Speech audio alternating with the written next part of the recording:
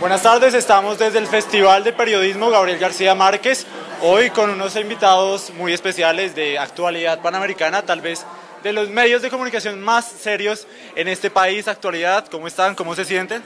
Eh, un poco insultado por lo de serios del país, pero no mentiras, no, muy bien, muchas gracias por la invitación. Es un honor estar aquí en Medellín. Eh, muchas gracias por la invitación. Bueno, cada vez que hablamos de, de actualidad panamericana, siempre se nos viene a la mente alguna de sus notas bien locas, bien chistosas, caricaturizando un país que tal vez es realmente no una caricaturización, sino lo que realmente es Colombia. Es un país muy chistoso.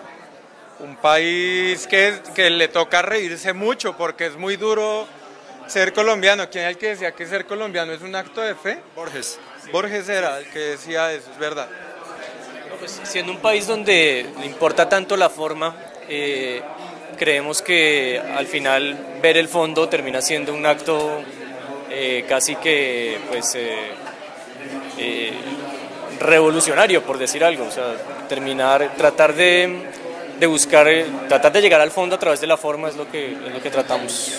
Y pues el humor es ese camino que utilizamos para tratar de de contar una historia y que la gente llegue al, al, fondo de esa historia a través del humor. Bueno, ahora hablemos un poquito más de lo que ustedes hacen, hablemos de cuál es esa delgada, esa delgada línea entre la sátira política del chiste y, la fe, y las fake news o las noticias falsas. Por favor. La, la diferencia es que, digamos, nosotros no estamos en el negocio del periodismo, sino en el del humor y la sátira.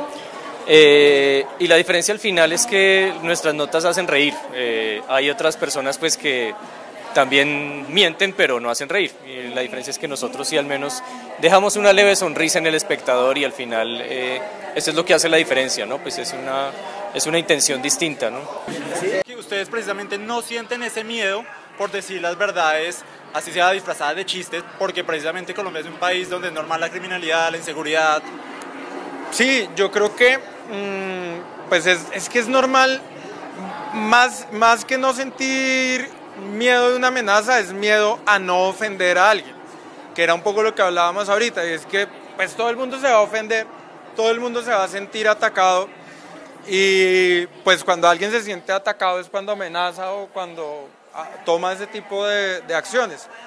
Pues para nosotros, para mí en lo personal, es pues simplemente hacer las cosas, tomar el riesgo, porque pues sí, pues realmente vivimos en un país que no tiene las mejores condiciones de seguridad, pero pues también en un planeta donde pues no sé, una manzana causa cáncer, o sea, sí es como pues es un poco es un poco nihilista mi forma de pensar, pero pero yo sí creo que uno debe ser más descomplicado a la hora y perderle el miedo al hacer. Y bueno, hablando también un poco de todos ustedes, tal vez ya han traspasado esa barrera del humor, de las noticias eh, que hacen a diario y se han involucrado, por ejemplo, con la Liga contra el Silencio, con la Flip, lo veíamos hablando de todos estos casos que la Liga contra el Silencio ha investigado. Entonces, digamos, acá ya tal vez ustedes eh, se ponen en el papel, precisamente, un papel un poco más serio, eh, de realmente preguntarse por las causas por las que este país es así. Entonces, hablemos un poco de, de, de esas, de eso que están haciendo ahora.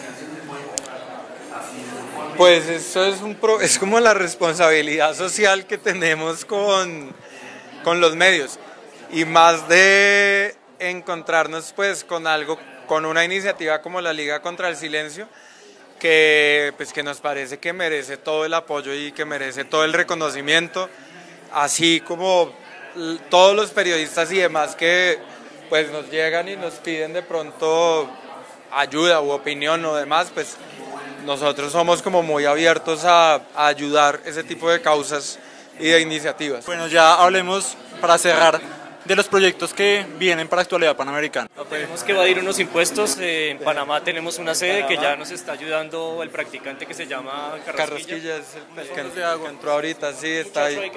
Muchacho que se inventó una figura de unos bonos ahí buenísima para poder tramitar una plata que tenemos ahí pendiente. Entonces, no, primero a corto plazo comprar bonos Carrasquilla eh, a segundo plazo, pues eh, como segunda medida, pues tratar de ampliar y crecer. Eh, no mentira, ya en serio, pues eh, seguir tratando de tener cada vez más tráfico, eh, hacernos millonarios y repartirles las migajas al país. Al país, listo, sí.